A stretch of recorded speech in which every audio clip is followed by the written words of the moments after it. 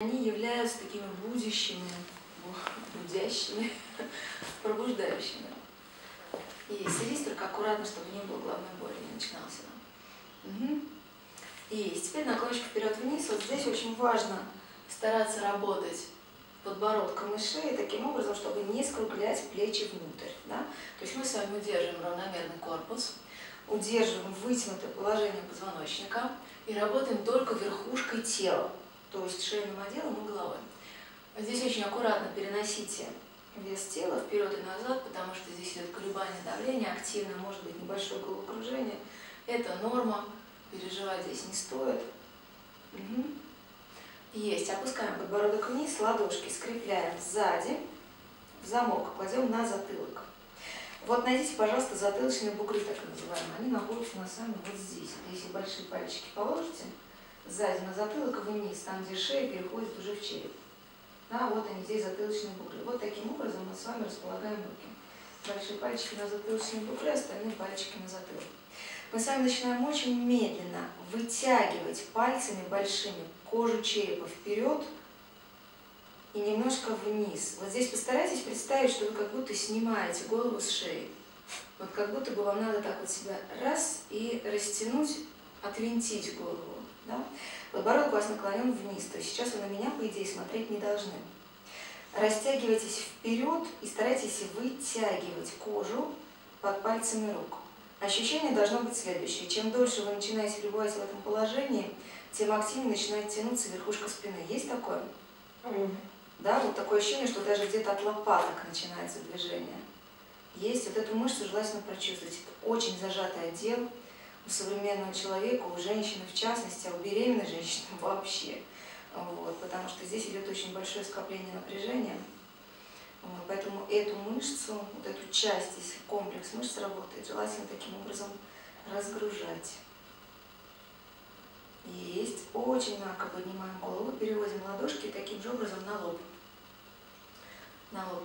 И теперь таким же давлением мягко нажимаем на лоб и как бы стараемся сдвинуть голову назад. Смотрите, здесь не запрокидывание головы, а сдвигание параллельно полу.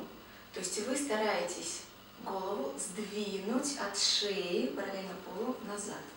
Да, вот такое движение. Какие мышцы будут напрягаться? Вот здесь, да, части. Частично будет напрягаться горло, частично будут напрягаться мышцы ключично-сосцевидные, грудино-ключично-сосцевидные. Вот они, эти мышцы, если я так поделаю, вы их можете увидеть, да? Вот. Очень хорошо. Надавливайте таким образом, чтобы сопротивление лба тоже присутствовало. То есть у вас противодействие. Вы тренируете сейчас очень локальную группу. Вот эти мышцы шеи, которые поддерживают голову, которые создают правильное давление, которые позволяют кровообращению быть лучше. Чем активнее мы с вами работаем с шеей, мягче, комфортнее, тем лучше у нас кровообращение в голову да, тем лучше работает мозг, тем лучше у нас идет движение э, в плане очищения, в плане пробуждения в том числе. Угу. Хорошо, если мы это сделали, возвращаем. Дальше движение следующее. Ладошкой упираемся в скулу, вот сюда, вправо можно. Угу.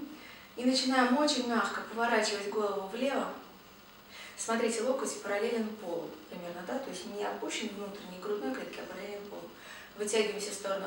И когда вы докрутились до положения в бок головы, начните опять же сопротивление. Ладонью вы на скулу, скулой вы на ладонь. Здесь идет движение, опять же, противовес. Это изометрическое напряжение, которое позволяет вам тоже в глубине почувствовать мышцу тела, а точнее шеи и плеч. Да, там, где у нас шея переходит уже в плечи. Давление должно быть, но не резкое, не сильное сразу, а плавное, нарастающее. Угу. Есть. Противоположной рукой вот так себя возьмите за голову и докрутите голову назад. Таким образом вы снимете напряжение. Только сделайте это мягко и плавно. Плечи обязательно опущены вниз. Следите за спиной, чтобы она была прямой. Угу. Возвращаем голову в центр, левую ладошку не убираем, сразу переводим на скуловую часть. С выдохом медленно вращаем голову вправо, подбородок параллельно полу. Как только довернули до положения в сторону, начинаем двигаться с определенным сопротивлением, то есть надавливаем. Скулой на ладонь, ладошкой на скулу. При этом ваша рука левая тоже напряжена. Так ведь? Она чувствует напряжение, да? То есть локоть у нас с вами расположен параллельно полу. Мы должны здесь ощущать включение рук. Есть. Расслабляем движение и правой рукой доворачиваем шею, доворачиваем голову за макушку. Представьте, что вы а, в этот момент на сеансе мануальной терапии вас вращает человек. То есть ваша рука ведущая, ваша шея пассивная. Она выполняет действия уже самостоятельно под воздействием руки. Угу. Возвращаем голову в центр. Есть. Вот этот небольшой, маленький комплекс упражнений касаемо мышц шеи, которые бы хорошо прорабатывать. Это не все.